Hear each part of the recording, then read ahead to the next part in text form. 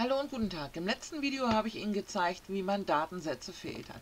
So eine Tabellen bezeichnet man als Datenbank, wenn hier lauter Daten eben aufgeführt sind. In diesem Fall ist es eine Wohnung, die ich hier oder Wohnungen, die ich hier überwache, die Zimmer haben. Da steht die Anzahl der Zimmer, ob sie Einbauküchen haben, was sie an Kaltmiete bringen und hier steht, wer der entsprechende Mieter ist.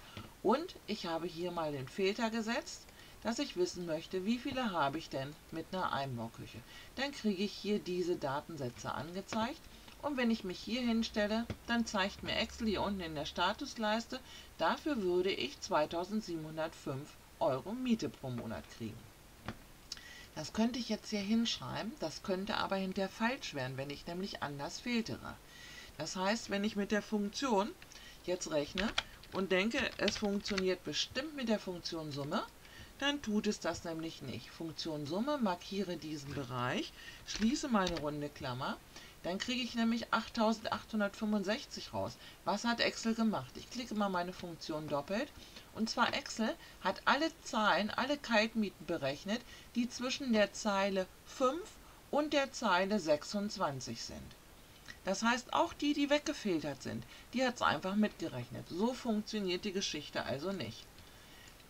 Aber Excel ist wiederum schlau. Wenn ich mein Summenzeichen nehme, dann hat Excel ja erkannt, es halt, äh, handelt sich um eine Tabelle, in der gefiltert wurde und schlägt mir die Funktion Teilergebnis vor. Teilergebnis. Dann kommt eine 9. Da weiß ich jetzt noch nicht, wofür ist diese 9. Ist auf jeden Fall mein erstes Argument. Ein Semikolon kommt und jetzt kommt mein zweites Argument. Das ist der Bereich. Und zwar von der Zeile G2 bis 28. Es ist zwar erst von, nur von 5 bis 26, aber Sie sollten diesen Bereich auf alle Fälle, nämlich die erste Zeile, die in der Tabelle wäre und die letzte mit der Funktionstaste F4 feststellen. Denn wenn Sie sonst mal was filtern und da kommt jetzt hier ein Datensatz, der jetzt vorher nicht drin war, dann wird er eventuell nicht mit berücksichtigt. Also unbedingt darauf achten, dass Sie immer die Zeilennummer der ersten und die Zeilennummer der letzten Zeile haben und am besten mit der Funktionstaste F4 feststellen. Dann kann nichts mehr schief gehen.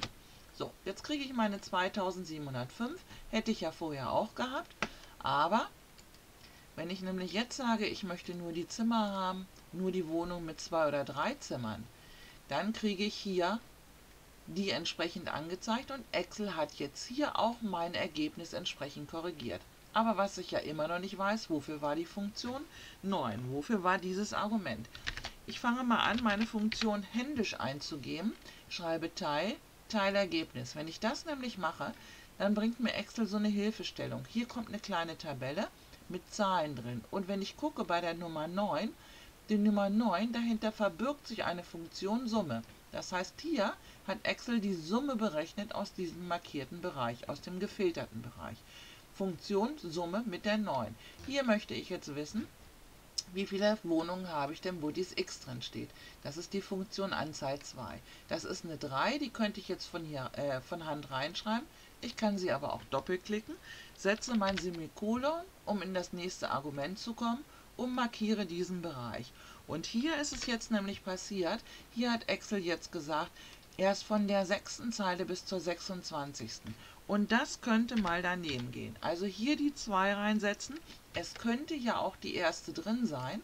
Und hier wirklich die 28 reinsetzen. Die letzte Zeile, die eventuell möglich ist. Nicht 228, sondern die 28 und auch mit der Funktionstaste F4 feststellen. Dann sind Sie sicher, dass nichts mehr schief gehen kann. Und ich probiere das nochmal aus, hier mit dem Mittelwert. Und da ich mir diese vielen Zahlen, die da drin stehen, nicht merken kann, gebe ich einfach wieder Teil ein, klicke Teilergebnis doppelt und gucke, was ist denn Mittelwert. Aha, das entspricht der Nummer 101, klicke das doppelt und markiere diesen Bereich. Und auch hier wieder darauf achten, Excel hat mir jetzt meine Zeilennummern nicht richtig gebracht. Ich möchte unbedingt die erste und ich möchte auch unbedingt die letzte, auch wenn ich sie, auch wenn ich sie ups, in diesem Fall nicht brauche. Hier muss ich nochmal mit der F4-Taste auch feststellen. Dann bin ich sicher, dass egal was ich mache, dass ich auch wirklich alle Datensätze drin habe. Das ist die einzige Schwierigkeit bei dem Teilergebnis. Wirklich darauf achten, dass Sie den Bereich festgestellt haben, der ersten bis zur letzten Zeile und dann können Sie fleißig weiter filtern. Das, was Sie möchten. Ich möchte vielleicht auch noch die mit einem Zimmer, die mit den halben Zimmern möchte ich nicht. Und Excel rechnet immer richtig für Sie. Probieren Sie es mal aus. Eine schöne Sache mit dem Teilergebnis. Ich denke mal, kann der eine oder andere von Ihnen bestimmt gut brauchen. Wenn es gefallen hat, Daumen hoch, danke und tschüss.